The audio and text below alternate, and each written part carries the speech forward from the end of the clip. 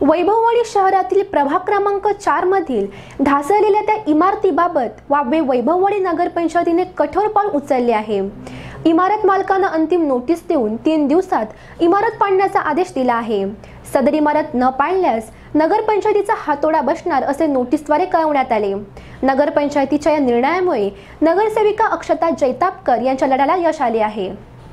वैभववाडी शहरातील प्रभाग चार मधील राघोबा वामन रावराणे व किरण राघोबा रावराणे यांची तीन मजली इमारत पूर्णतः ढासळली आहे. याबाबत वेळोवेळी इमारत मालकांना याबाबत सूचना दिली होती. मात्र त्यांनी याकडे दुर्लक्ष केले होते. शनिवारी पहाटे या इमारतीचा काही भाग ढासळून खाली कोसळला होता.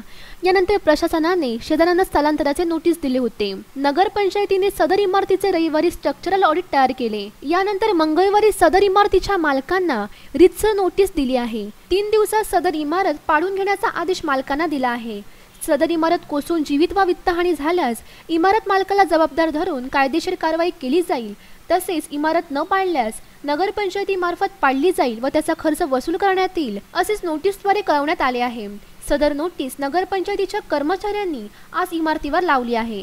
नगरपंचायतीच्या या निर्णयामुळे शेजाऱ्यांना काहीसा दिलासा मिळाला आहे. मात्र इमारत केव्हा पडणार? याकडे लक्ष लागून राहिले आहे. तसेच गेली वर्षभर या विषयावर लढा देणाऱ्या नगरसेविका जैतापकर यांच्या लढ्याला यश आले आहे.